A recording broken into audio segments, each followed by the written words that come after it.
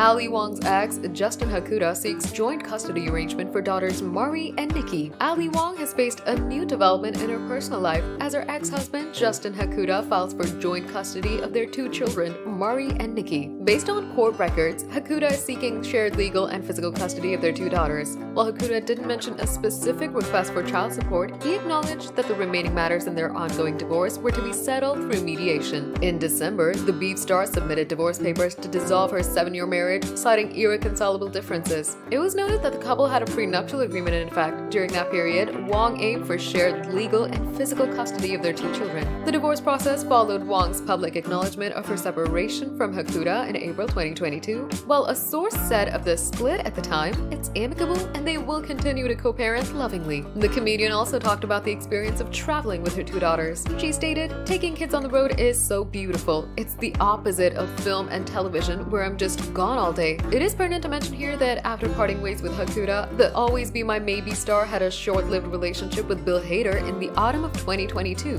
In April, it was verified that Wong and the 45-year-old actor had reignited their romance, and the duo has subsequently been spotted together on multiple occasions. Stay tuned for the latest celebrity updates. Hit the subscribe button and ring the notification bell for all the latest news. Don't forget to show your support by giving this video a thumbs up and sharing your thoughts in the comments below.